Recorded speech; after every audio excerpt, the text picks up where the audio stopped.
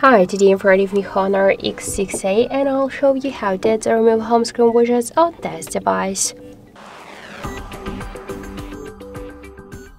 So first we should hold for a while home screen with our finger or just to pinch it and you'll see here cards section. Just tap on it and after that you'll see here all of the available applications which widgets you could add. For example let's tap on the calendar and here we could see that the calendar app got six different types of the widgets let's just add one from them just tap to add to home screen and now we could see that the widget successfully added to our home screen.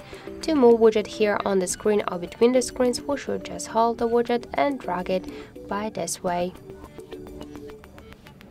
Oh, no, okay, no space. We could create the new one, that's not a problem, just hold the widget and drag it here. If you want to remove the widget from the home screen, hold and tap to remove icon, then confirm your action by tap to remove button.